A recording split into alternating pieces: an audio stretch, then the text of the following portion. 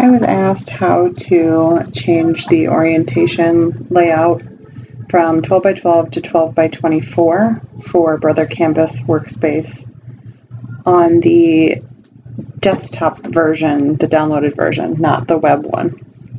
So what you'll do, when you open it up, it will show the 12 by 12. So what you'll have to do is go over here, this little piece of paper says artboard, click on it, You'll have a drop down menu and it will say 12 by 12 and 12 by 24. You just click on it.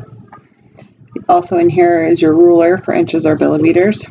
You can show the ruler or remove the ruler. Show your mat image, which is the gray line around the outside. Your grid, which is the little gray lines in between. And then you can also adjust your spacing in here down to a quarter of an inch and then up to two inches. So if you know you have something that can be no bigger than two inches or three inches or four inches, you could adjust your grid spacing accordingly. If you have any other questions, let me know and I'll see what I can do for you.